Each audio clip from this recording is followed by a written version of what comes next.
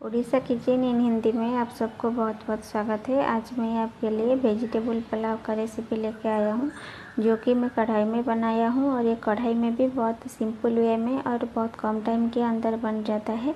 मैं इसमें प्याज का यूज़ नहीं किया हूँ, आप चाहे तो इसमें प्याज भी डाल सकते हैं।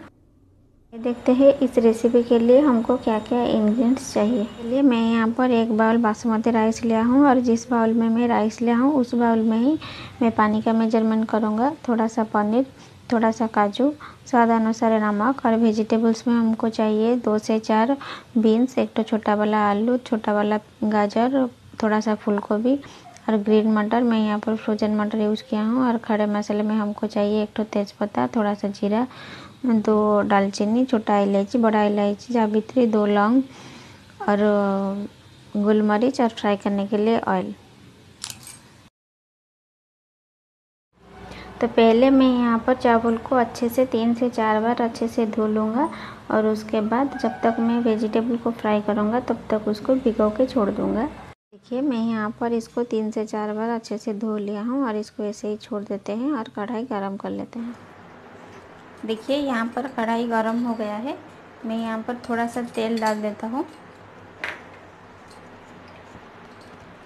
पहले हम इस पनीर को थोड़ा सा स्लो फ्राई कर लेंगे।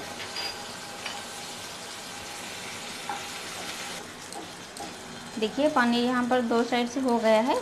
अब मैं यहाँ पर निकाल लेता हूँ और उसके बाद काजू को फ्राई कर लूँगा। देखिए, एक मिनट के बाद काजू भी यहाँ पर हो गया है। मैं यहाँ पर काजू को भी निकाल लेता हूँ और उसके बाद ज़रूरत के हिसाब से तेल डाल देता हूँ।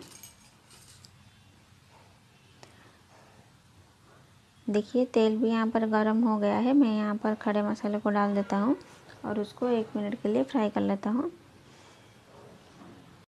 एक मिनट के बाद ये मसाला हो गया है। मैं यहाँ पर पहले फूल गोभी को डाल देता हूँ और एक से दो मिनट के लिए फ्राई कर लेता हूँ, क्योंकि फूल गोभी पकने के लिए थोड़ा टाइम लेता है। और उसके बाद मैं गाजर, आलू और बीन्स को भी डाल देता हूँ। मैं यहाँ पर आलू का इस्तेमाल किया हूँ। आप चाहे तो इसको ना भी कर सकते हैं ऑप्शनल है। और सारे वेजिटेबल्स को मिला के एक से दो मिनट के लिए कवर कर लेता हूँ। देखिए, एक से दो मिनट हो गया है। हम इसको कवर निकाल के उसको मिला लेता हूँ और उसको फिर से कवर कर लेता हूँ और गैस को स्लो करके पाँच से सात मिनट के लिए छोड़ देता हूँ और उसके बाद कवर निकाल के यहाँ पर मैं फ्रोजन मटर और फ्राई किया हुआ पनीर और फ्राई किया हुआ काजू को भी डाल देता हूँ और सारी चीज़ को अच्छे से मिला के फिर से एक मिनट के लिए कवर करके छोड़ देता हूँ। देखिए, एक मिनट के बाद हमें कवर को हटा के फिर से इसको मिला रहा हूँ और यहाँ पर धो के रखा हुआ चावल को इसमें डाल रहा हूँ। और चावल को वेजिटेबल्स में अच्छे से मिला रहा हूँ। जैसे कि चावल वेजिटेबल्स में अच्छे मिल, अच्छे से मिल जाए। देखिए, यहाँ पर चावल वेजिटेबल्स में अच्छे से मिल गया है और उसको कवर करके एक मिनट के लिए फ्राई करने के लिए छोड़ दिया हूँ। एक मिनट हो गया है, मैं यहाँ पर कवर को निकाल के यहाँ पर जिस बाउल में मैं चावल का मेज़रमेंट किया था उस बाउल में मैं पानी का मेज़रमेंट करके दो बाउल पानी इसमें ऐड ऐड करेंगे।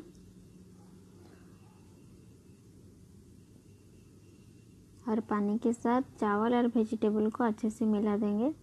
और यहाँ पर स्वादानुसार नमक को भी हम डाल देंगे। और नमक को, को वेजिटेबल्स में मिला के हाई फ्लेम में उबाल आने तक हम बॉयल करेंगे और उसके बाद इसको अच्छे से मिला के गैस को स्लो करके, इसको कवर करके आठ से दस मिनट के लिए छोड़ देंगे। और उसको बीच बीच में खोलना नहीं है। देखिए, यहाँ पर आठ से दस मिनट हो गया है। अब हम कवर को खोल के देख लेते हैं यह अच्छे से बॉयल हुआ है या नहीं। इसीलिए मैं यहाँ, इसके अंदर एक टोक नाइफ को डाल रहा हूँ। देखिए, इसमें कुछ भी गीला नहीं लगा है, इसका मतलब ये रेडी हो गया है। और उसके बाद इसको कवर करके पाँच मिनट के लिए ठंडा होने के लिए छोड़ देते हैं।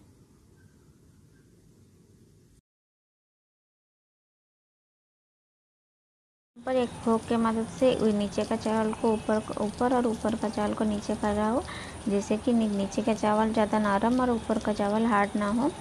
और मैं यहाँ पर एक तेज़पत्ता और बड़ा इलायची को निकल रहा हूँ। देखिए, चावल एकदम से खिला खिला बना है। कोई भी चावल एक दूसरे से नहीं चिपका है। और ये रेडी हो गया है। मैं इसको सर्विंग प्लेट में निकाल रहा हूँ। देखिए, हमारा गर्मा गर्म वेजिटेबल पुलाव बन के रेडी है। इसको आप घर पर ज़रूर बना के ट्राई कीजिएगा और आपका एक्सपीरियंस मेरे साथ शेयर करिएगा। अगर आपको रेसिपी अच्छा लगा, मेरे चैनल को सब्सक्राइब कीजिएगा। और इस वीडियो को कमेंट लाइक एंड शेयर ज़रूर कीजिएगा। Thank you